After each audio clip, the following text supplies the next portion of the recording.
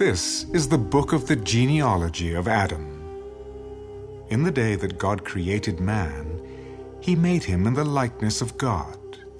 He created them male and female, and blessed them, and called them mankind in the day they were created. And Adam lived one hundred and thirty years, and begot a son in his own likeness, after his image, and named him Seth. After he begot Seth, the days of Adam were eight hundred years, and he had sons and daughters.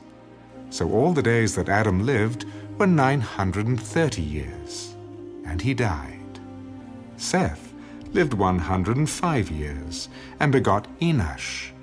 After he begot Enosh, Seth lived eight hundred and seven years, and had sons and daughters.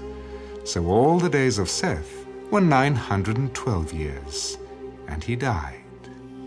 Enosh lived ninety years, and begot Cainan. After he begot Cainan, Enosh lived eight hundred and fifteen years, and had sons and daughters. So all the days of Enosh were nine hundred and five years, and he died. Cainan lived seventy years, and begot Mahalalel. After he begot Mahalalel, Cainan lived eight hundred and forty years, and had sons and daughters.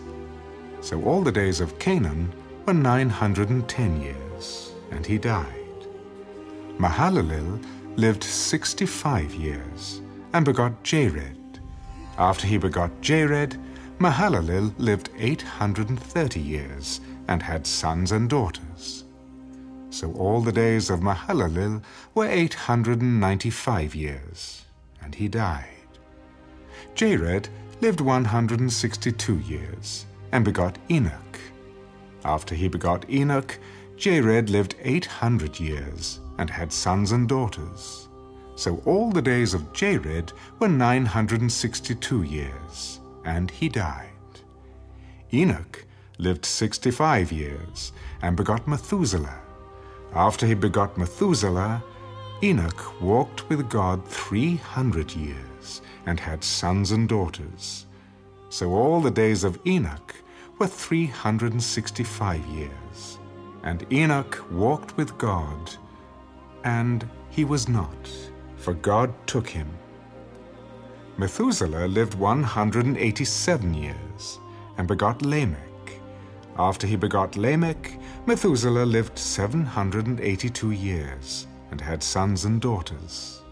So all the days of Methuselah were nine hundred and sixty-nine years, and he died. Lamech lived one hundred and eighty-two years, and had a son, and he called his name Noah. This one will comfort us concerning our work and the toil of our hands because of the ground which the Lord has cursed.